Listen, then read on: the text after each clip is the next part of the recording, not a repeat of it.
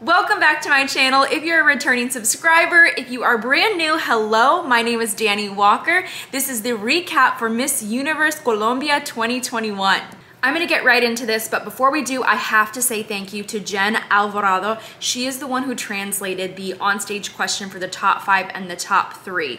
Now, if you are new to the channel, you might not know that I am only fluent in English. So when I recap pageants in other languages, I try my best to get the translations for the shows. So if you have a request for a pageant that is not in English and does not offer any English translations, then I have a huge favor to ask of you. Would you please send me translations of any any crucial parts of the show or the onstage questions so I can have a better understanding of what's going on and offer you the best possible recap.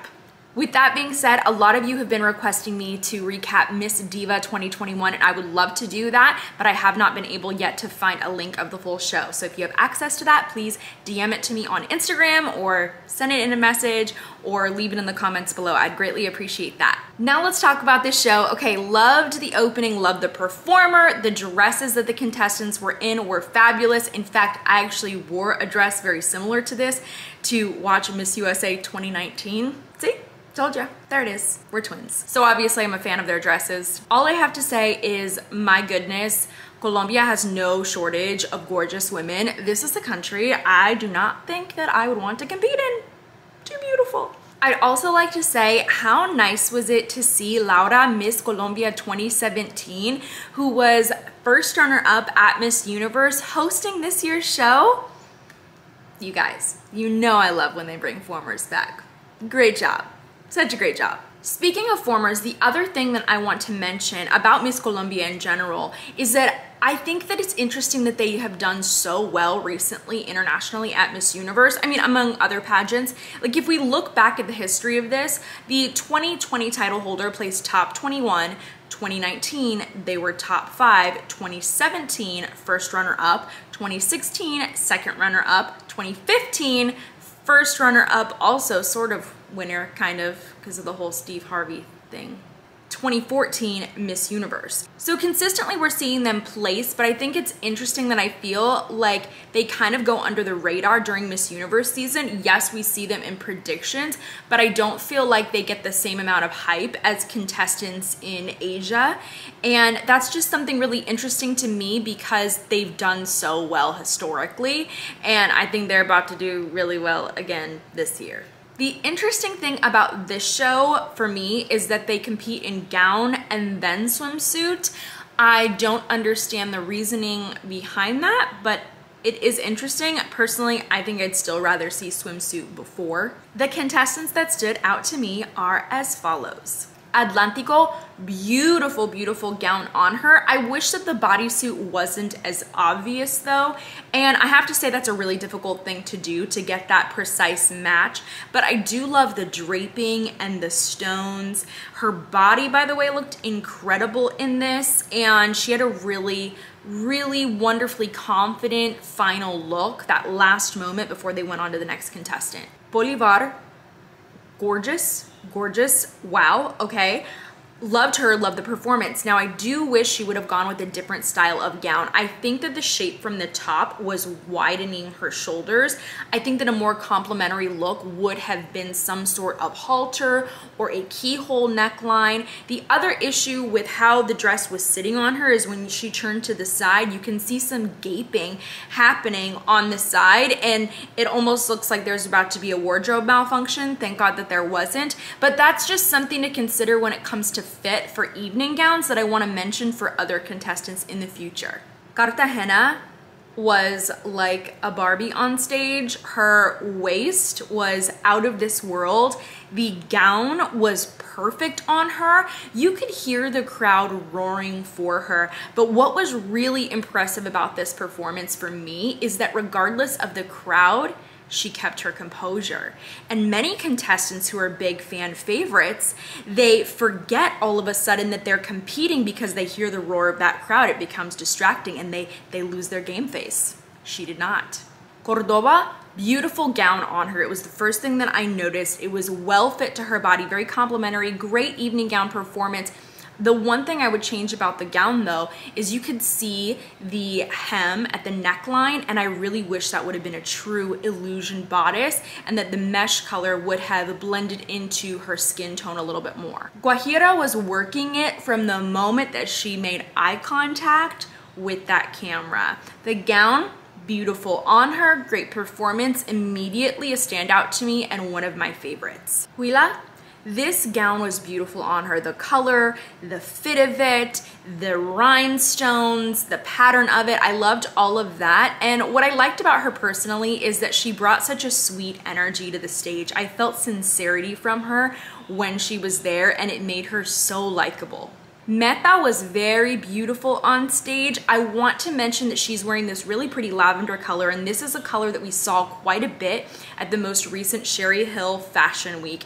And so I think that a lot more contestants are gonna start wearing this color for competition. I have to say it is beautiful. But getting back to her performance, I love the smile at the end. It was perfection. It was like the cherry on top of this performance. Norte de Santander was gorgeous. Loved this really unique color and the simplicity of this gown. It reminded me of something you would see on a red carpet. It was just unique, not something I expected to see at this pageant, but it worked for her.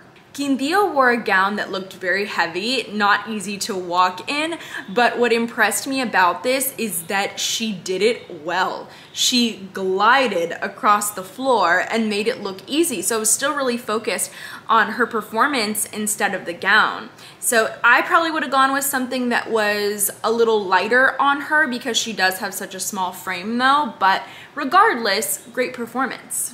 Risaralda instant favorite. The energy she brought to the stage, you could just feel a shift in the room. The white with the silver details was perfect on her. I think that the cape was overworked personally, but regardless, if I were judging, I would still give her a great score and want to see her move on. Santander I loved this gown on her. It was very unique. We don't see very many high lows, but I like that it was a high-low that started on the side of the leg instead of the center. I think that that adds a sense of formality to the gown and makes it more evening gown competition appropriate. But I loved it. I liked her performance, although I do think she could have sped it up a little bit more. Unfortunately, the version that I found online of this show froze at this point, so I couldn't see any more gown performances that was unfortunate. I was really disappointed about that. And I wanna mention that if you haven't subscribed just yet, make sure to hit that subscribe button before you exit this video. And if you want to continue to support the channel and see content like this, you can also check out my merchandise that is linked right below. For swim, let's just acknowledge the performers beautiful. The music was lovely. I enjoyed it. I think that that's a part of a successful show and a great organization is having great entertainment that complements the contestants. And it was just something I thought was very beautiful and I want to acknowledge them. Atlantico, wow, that body, that confidence. It was amazing and I actually preferred this performance to her evening gown performance. Cartagena, she knows how to work her smile and her eyes are so beautiful. I feel like if you have naturally large eyes, it can be such an advantage on the pageant stage. There's so many title holders who I think are just so pretty and captivating because of their eyes. She definitely has that going on. And I will say I loved her little extra head tilt at the very end. It was just a special moment that really kind of sealed the deal. It was a great ending to her performance. Guajira didn't quite hit that final pose. There was an adjustment of her feet at the end, and that's something that I, as a judge, definitely pay attention to. But she didn't show anything in her face that would make you think that she didn't hit that pose. So that helps me when I judge to overlook that, and I think it was a job very well done. Risaralda brought so much energy to the swimsuit competition, but I do want to make a comparison between her and Cartagena.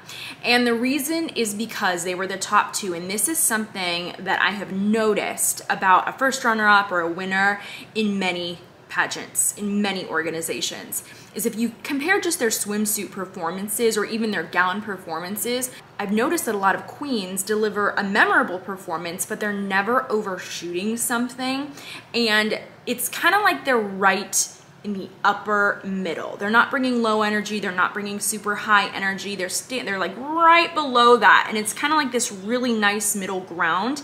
And that's why I wanted to bring up these two because I think that that happens to a lot of contestants and it might be the reason why they don't move forward or they don't win at the end of the day is because they start to overshoot their performances when the winner is always calm, cool, collected, poised. And I think another good example of that could be Miss Universe Philippines this year. A lot of people were making those comments about Beatrice is because she was so calm and poised. So she easily went through each level of competition and easily made it through each cut and then at the end voila becomes the winner. So that's just something that i think is kind of interesting. If you've noticed that too with winners let me know. Leave that in the comment section below. Huila brought happy energy again. Personally if i were judging she would get a pretty great score from me because i like her sincerity. Bolivar what i have to say about her performance is that it was powerful. It was well executed. And at the end, she threw in that little wink. It was perfectly timed. Fabulous. Next, it was time for the onstage question. And I know this is something that a lot of contestants are worried about just because there have been controversial questions asked in pageantry and sometimes it can be a little bit scary, but I do think that it's something you should think of just as an extension of your personal interview. It's not something that you should fear. And if you go into it being really scared, you're not setting yourself up for success. But one of the best things that you can do is to prepare yourself for a great interview and onstage question by creating a personal brand. So you know what your message is, you know what you want to share with the judges and with the audience. And if you struggle doing that, then you should check out Rehearsed to Relatable. There are details in the description below. Overall, I will say that I don't think anybody bombed these on-stage questions. Of course, I don't speak Spanish fluently, but the delivery of these questions looked pretty good to me and the translations sound pretty good. I think that at the end of the day, when it comes to placements, judges were thinking about the overall performance of each contestant. Risaralda. If you could be grateful for only one thing about being Colombian, what would it be and why? Her answer. I am very happy to be Colombian for the passion that represents us Colombians for the love that we show in everything. I love the energy of Colombia and I love the joy that we demonstrate to the world and the resilience that we have. Thank you. Miss Atlantico. With which physical defects have you struggled with internally? What have you done to overcome this? And what would you say to all the women who are fighting this battle? She said, Good evening, Bogota. Good evening, Colombia. I can say that I am an example of overcoming because the pandemic I suffered from an eating disorder. I did not like what I saw in the mirror. Thanks to God, it is something that I overcame. I learned how to love myself, learned what I am worth, the faith that I have in God, and the value we have as women. We are perfect.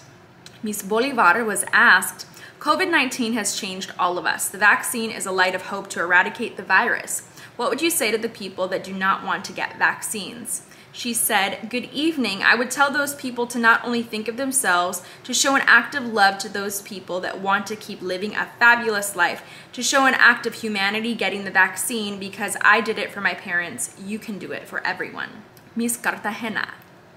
What would you respond to a little girl that would like to know the true definition of beauty? I think she had a great answer for this.